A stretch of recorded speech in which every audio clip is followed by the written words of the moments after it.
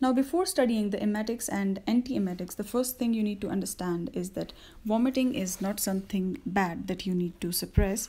But in cases where vomiting is a symptom of an altered function in the body, uh, then we need to suppress it, or sometimes we even need to induce it, and that's why we use emetics. Now, to understand the drugs used to produce emesis or to counteract it, we first need to understand the pathophysiology of vomiting. The first thing in the pathophysiology is that there is a vomiting center in the medulla having M1 and H1 receptors. The M1 are the main receptors. Now, this vomiting center can be stimulated by a number of different pathways.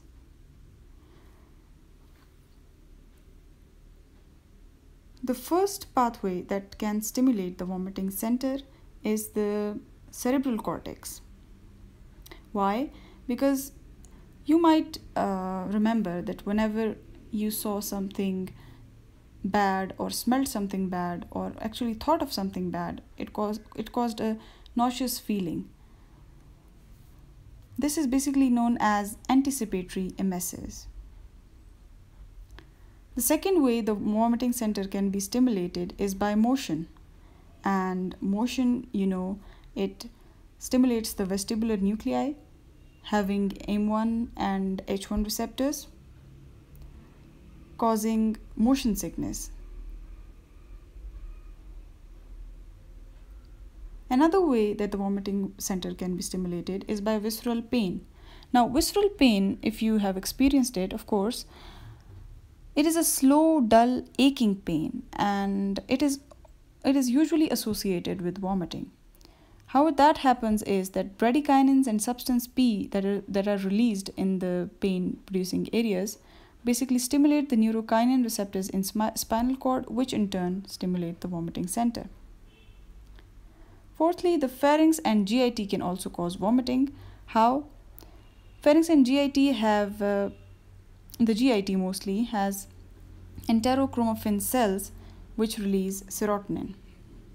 Now, any irritation to the gastric mucosa by chemotherapy, radiotherapy, any irritation mechanically to the pharynx can uh, increase the release of serotonin and tell the vomiting center via the efferent vagus going to the nucleus of tractus solitarius and then to the vomiting center to cause vomiting. Now the chemotrigger zone is an area of the medulla at the floor of the fourth ventricle which receives input from blood-borne drugs or hormones and communicates with other structures in the uh, vomiting center to initiate vomiting. Now the receptors that are present in the CTZ are serotonin receptors, D2 receptors, cannabinoid receptors, opioid receptors, and substance P. They can be stimulated by drugs, toxins, hormones, and any sort of irritants actually. Because there is no blood brain barrier at CTZ, they can easily do that. That's why CTZ directly stimulates the vomiting center to cause vomiting. Now, looking at this pathway, we can see where we can put some drugs to cause this pathway to stop and have anti-emetic actions. The antagonists that we can use are 5H3 antagonists, D2 antagonists, M1 antagonists, H1 antagonists, and NK1 antagonists. Now, the agonists that we can use to stop vomiting are the cannabinoid agonist. Now, these receptors are basically responsible for pleasure, eating behaviors, and overall mood of the patient. If we antagonize all these receptors, we will stop vomiting. Now, another way to manipulate this pathway is to use emetics. Now, why would we use uh, emetics? Maybe in poisoning, uh, in cases where there is indigestion, etc. First thing we can do to cause emesis is to stimulate the CTZ and secondly we can irritate the gastric mucosa or we can do both.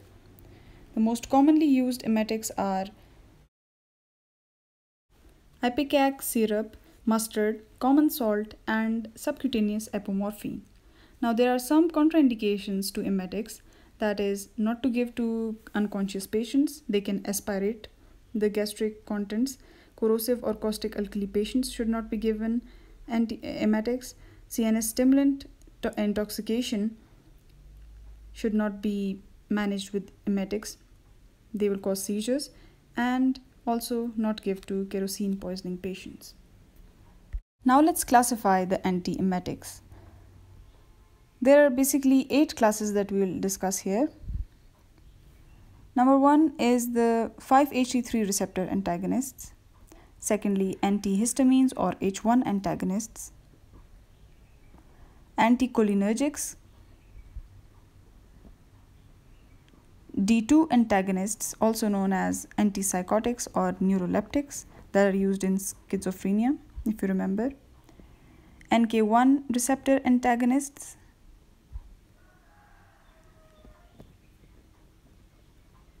prokinetic agents, cannabinoids, and some adjuvants that are glucocorticoids and also benzodiazepines. Now we'll discuss each of them in detail. Firstly, 5-HT3 receptor antagonists, how they act is that basically what they do is they block the vagal afferents from the gut to the uh, NTS and then to the vomiting center. That is their peripheral action, okay? And secondly, what they do is that they block the impulses to nucleus of tractus solitarius and CTZ, that is their central action. The main drugs are ondansetron, this is the prototype. Second is the granisetron. Now the granny, it's actually longer acting than the prototype and she is very proud about it. It is used mainly as a transdermal patch to cancer therapy, induced vomiting. Next is palonosetron. Now pelono is a person uh, who is actually very long or tall. So it is the longest acting with a half-life of about 40 hours. What it does is that it prevents delayed emesis because it's long acting of chemotherapy. Lastly, we have ramosetron. Now, ramo is someone who is very irritable. So we use this uh, drug in irritable bowel syndrome.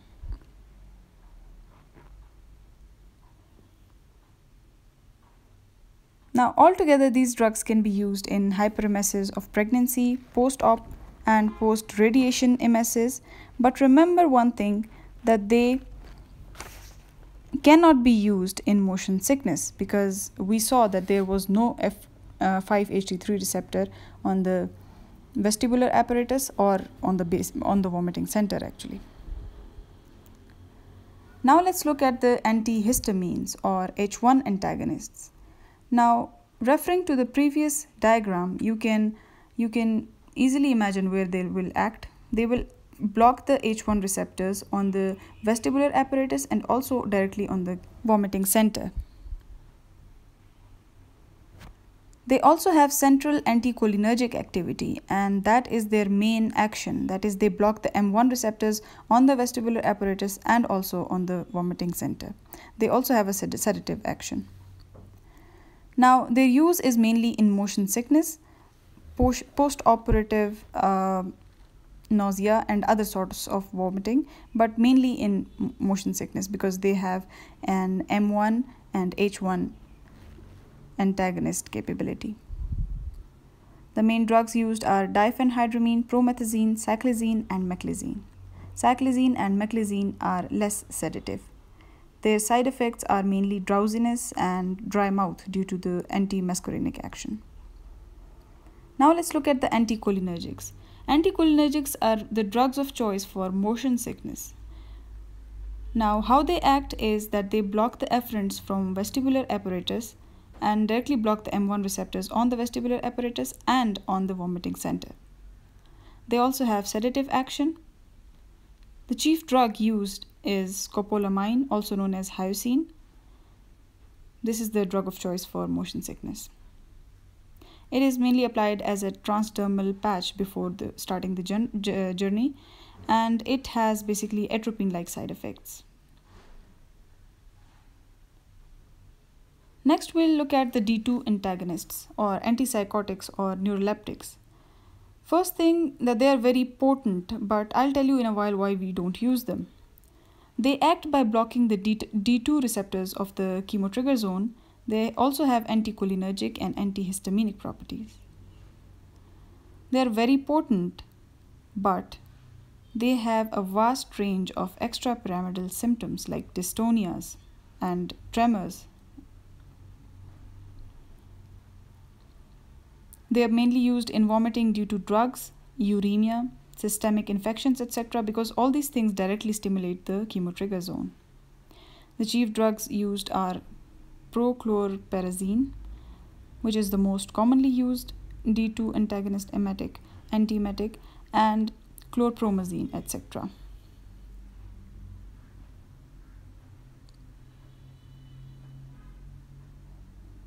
Remember the extrapyramidal symptoms caused by D2 antagonists.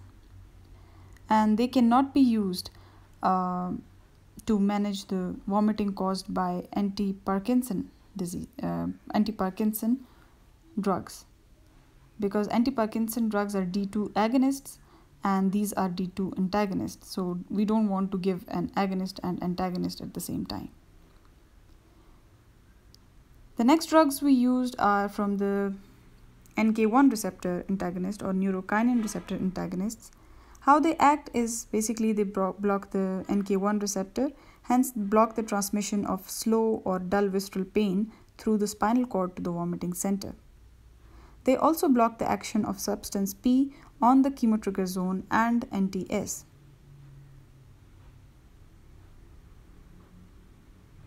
The chief drugs involved are aprepitant and fosaprepitant. These are very important, please remember this.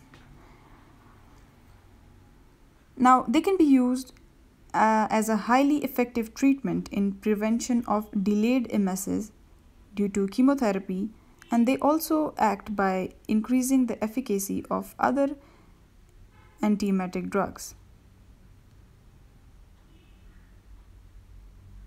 the major side effect that they have is they they are generally well tolerated but they can cause flatulence and diarrhea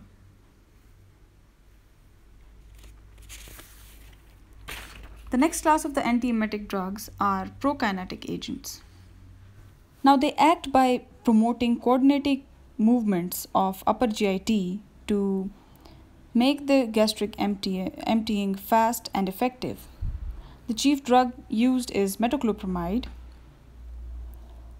We, uh, we talked about this in 5-HT4 agonists in the serotonin receptors video.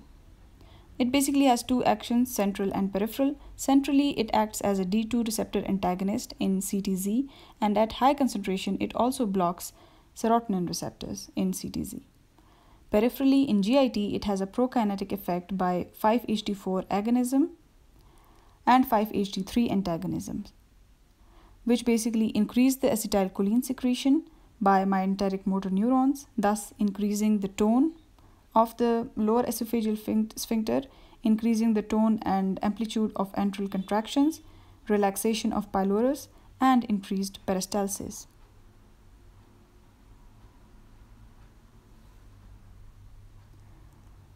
Now, prokinetic agents uh, have other uses as well apart from antiemetic action. They are used in GERD, gastroesophageal reflux disease, but they cause extrapyramidal symptoms as well, so they have been replaced by proton pump inhibitors and H2 blockers.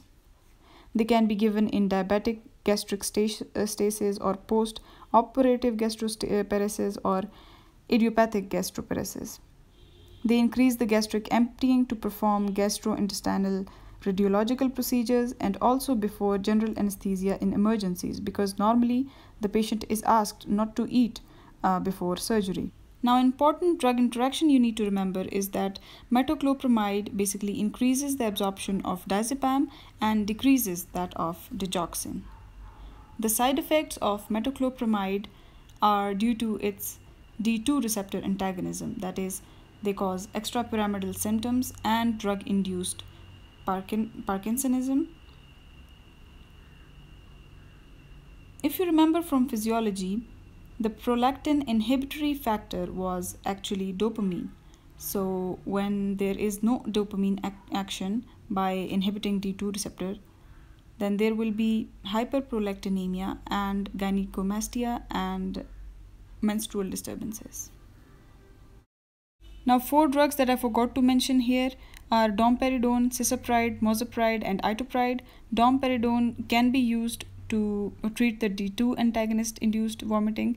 Why? Because they do not uh, cross the blood brain barrier and cannot interact with the D2 receptors, which, uh, if blocked, cause extrapyramidal symptoms. So they can be used uh, safely in children. They also increase prolactin. Cisapride is banned and mosapride is not an, actually a D2 antagonist, it is basically a 5-HT4 agonist, and QT prolongation can be seen in this. Itopride is a D2 antagonist with no extrapyramidal symptoms. Now let's see how cannabinoids act. Now these are the last resort drugs when the patient do not respond to other antiemetics. How they act is that basically they act on the CB1 receptors in the chemotrigger zone. These receptors are mainly responsible for pleasure, eating behaviors, and they improve mood. Now, the two chief drugs uh, included in this class are dronabinol and nabilone. They have some serious side effects because they are the drugs of uh, abuse, basically derived from cannabis sativa or marijuana. The side effects are sedation, central sympathomimetic effects such as tachycardia, palpitation, hypertension, hallucinations, or disorientation and drug dependence. Lastly, the adjuvants include the benzodiazepines and the glucocorticoids. You know, glucocorticoids like to sneak into every other classification that we do here. Anyhow, they act as anti-inflammatory and they have severe metabolic disturbances at their, as their side effects. The benzodiazepines actually how they act is by their three properties that is sedative, amnesic, and anxiolytic.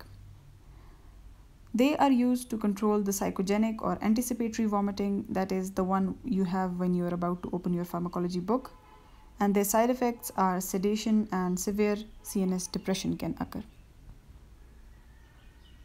That's all.